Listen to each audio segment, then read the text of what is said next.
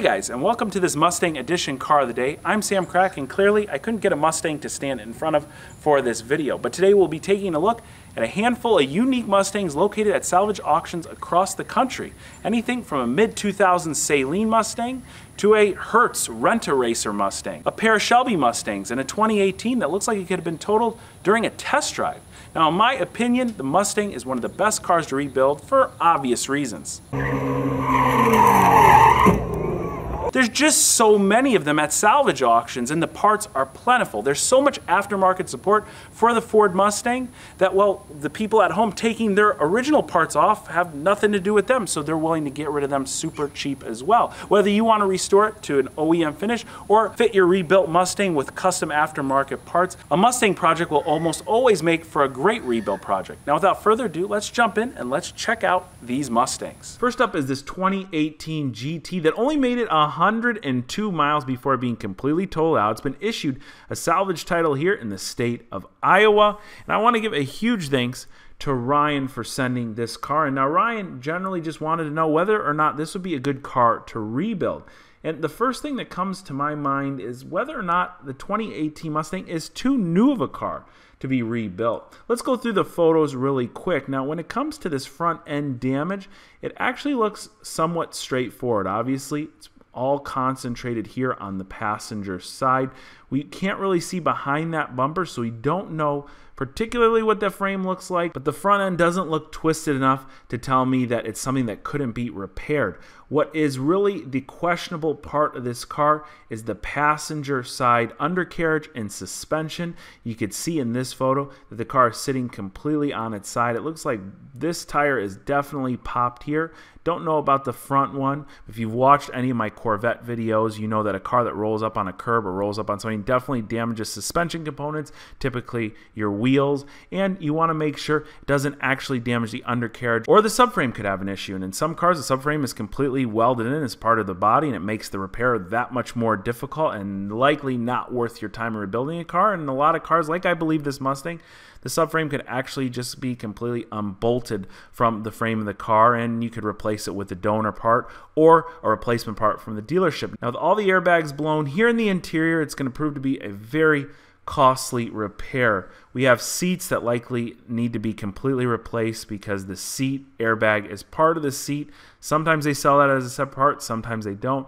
The curtain airbags means the whole headliner needs to be dropped. We cannot tell here whether or not the passenger dashboard bag blew. If it didn't, that's a good thing because that means we do not have to disassemble our dashboard. But for every airbag you see there, there's a lot of time necessary in replacing them. Continuing on, all the photos look good, specifically the engine engine bay here. I always like to look at how damaged the engine bay is because even these plastic shrouds will add up to be hundreds of dollars a piece and before you know it you haven't even replaced any major component in the engine bay and you'll be spending hundreds of dollars on little plastic trim pieces. So to see this in as good of condition as it is, well, that's a good sign. Our last photo here is concentrated on the front passenger side corner where we see the headlight actually hanging by the wiring harness. Everything does look intact. When it comes to replacing wiring harnesses or wiring clips on American cars, you can usually buy those parts, making the repair a little bit easier. So even though I don't like to see broken wiring harnesses, in this case, I wouldn't be too concerned about this. With the low miles, with the new year, I would tend to believe that the buyer of this car would want to rebuild it. The front end here isn't missing a lot. Obviously, we need a new front bumper. We're probably missing that lower fog grille. Probably need a new headlight in that corner. Now, as far as the right side of the car goes here, we are going to probably need new wheels, probably some new suspension components. But like I said before, with the Mustang being one of the best cars to rebuild because there are so many aftermarket parts, there are so many people taking off their stock parts to replace them with aftermarket parts. Even though this car is so new, I would venture to guess you could find these parts relatively easy. And with tuner companies like Roush and Hennessy modding these cars, you will be able to find a lot of these parts to rebuild this car used. And when I say used, they're going to be really lightly used because the car hasn't been out that long. So I wouldn't hesitate personally to rebuild a 2018 Mustang. This one in particular, I don't like to see that many airbags off in the cabin. So if you have some time, you have some tools, and you're inclined to build this 2018 Mustang GT, well, I would say you could go ahead and give it a shot. Remember, the deal always comes down to what you end up buying it here at the salvage auction for. Don't forget that part. Now, our next Mustang is a 2017 Ford Mustang sent in to me by a viewer named Thomas. He said that this is a bullet Mustang. Now, the first thing that came to my mind was that the bullet wasn't reintroduced until now, I think for 2019. This is a 2017. There was no bullet Mustang, especially not an EcoBoost one. But with a closer look of the car and using the zoom function here on IAA's website, well, we can see there are actual bullet holes all over this EcoBoost Mustang, specifically on the front end. Now, my first question was whether or not this car ran. And while IA says they cannot test start and I don't blame them. Usually on nicer cars, flood cars, or cars that have any sort of damage in the front end area there, they will refrain from starting them, obviously not to further damage things. And we can see that the engine cover was taken off this EcoBoost Mustang. So we're not really sure whether or not this car runs. However, if you do take a closer look in the engine bay here, does it look like maybe a bullet went right here through this wiring harness? That's not a good sign. That's no fun. But as we just talked about wiring harnesses, you can repair these. Running through the photos really quick. Well, if the engine runs and there's just a few minor things in the engine bay to repair, you're looking at replacing a couple body panels, the hood, the bumper, the front fenders. And again, this being a 2017 sharing the same exact parts with a 2015 through 2017 car. There are a ton of parts out there that you can purchase. You can slap them on this car and you could be driving, well, your very own Bullet Mustang for a really cheap price. All right, so that Bullet really wasn't a special edition Bullet Mustang. However, we have one of the special edition Mustangs here that I personally never understood. This is called the Rent a Racer, otherwise known as the Shelby GTH.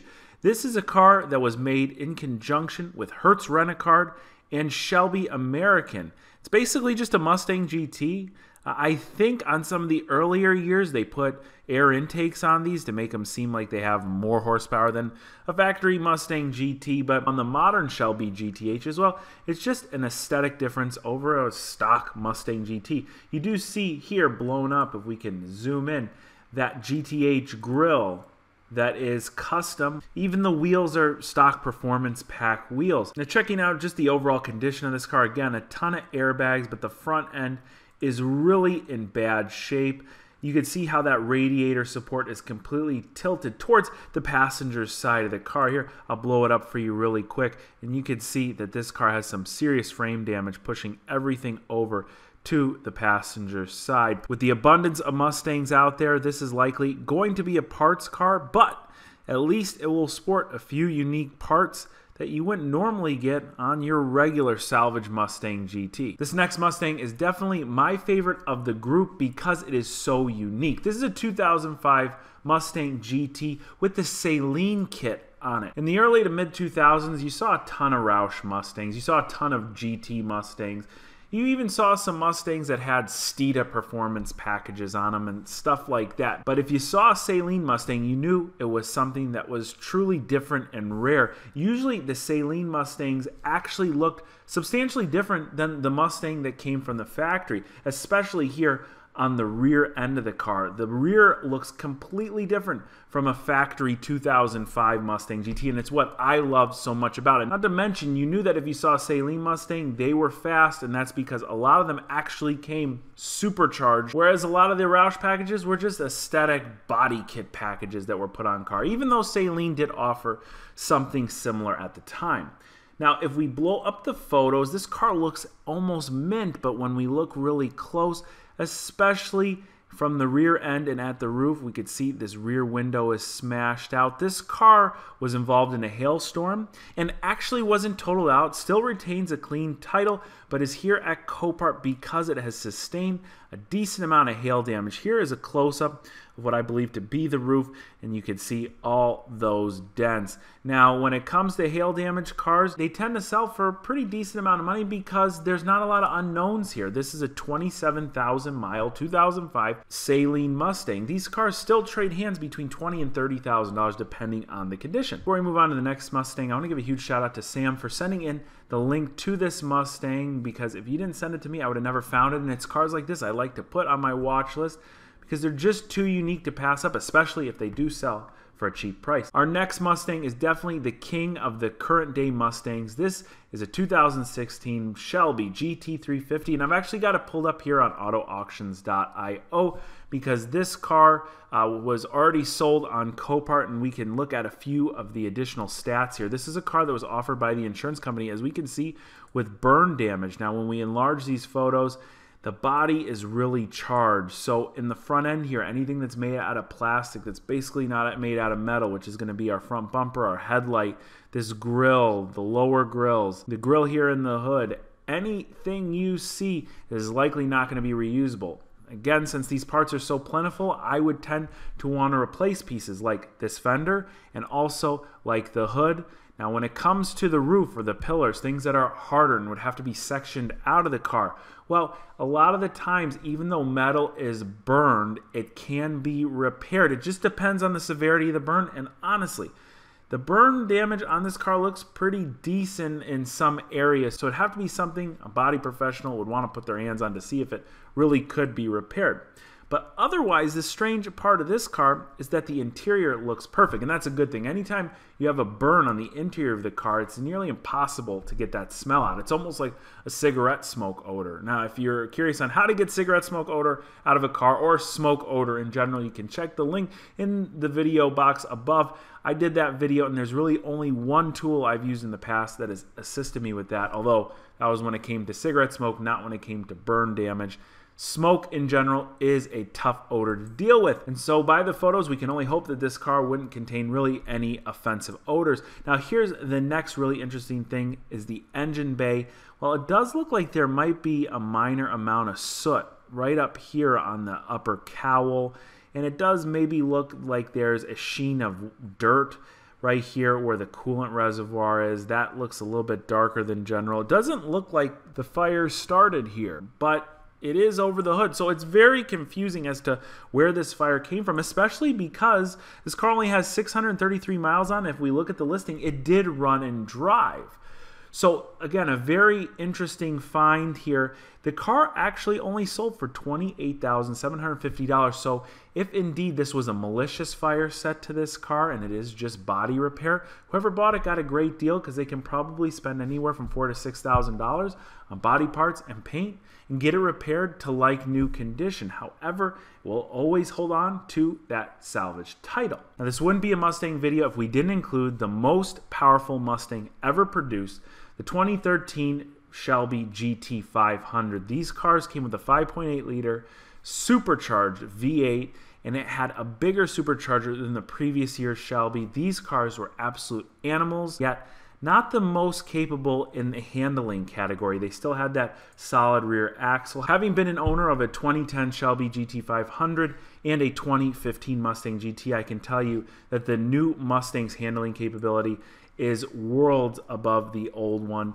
And really, when it came to the Shelby Mustangs, even though I had one that was down on power comparatively to this 2013 model, things could get out of control in an instant if you're not paying attention to what you're doing because there is just so much power to the rear wheels of these cars. Now, this is one of those cars, again, I have on my watch list because the damage looks fairly minimal and the 2013 Mustang is still a sought after car. Again, from the factory, 662 horsepower. It's got these really cool Recaro seats in the interior. Again, here's the 2.3 liter TVS supercharger. Underneath the hood here, everything does look stock except for possibly uh, this upper pulley here, which wouldn't be the end of the world. What I do notice is that the front cowl or the radiator cover here is missing. So that could have been damaged and, and popped off by a body shop. When you see a car that has all the body components laying out in front of it as organized as this GT500 does. That's done for a couple of reasons. Number one, it gives a better appearance to the car, so that should drive the value up on it a little bit. And number two, it does let you know that this car was probably uh, disassembled prior to being sent to auction, and an insurance company, in conjunction with a body shop, did consider repairing this car before sending it off to auction. Now, it does also say that there is some side damage on this car, and with the side profile that Copart provides us, it's just too tough to see anything. Obviously, we have a fender here that needs to be repaired, and quite possibly the fender on the opposite side. But when it comes to front fenders, these things bolt off and on really simply, and the Shelby uses the same exact fenders as pretty much any other Mustang of this era. Now, if it were up to me to rebuild any of the Mustangs I showed you today, it would be this 1314 Shelby GT500 because of the fact that pretty much every single body component, with the exception of the front fascia and the hood and the lower rear bumper, these cars are identical to their V6 counterparts. And there are so many of them sitting out in parts wholesaler yards. And like we talked about earlier, there are so many people that have taken their stock parts off of other cars.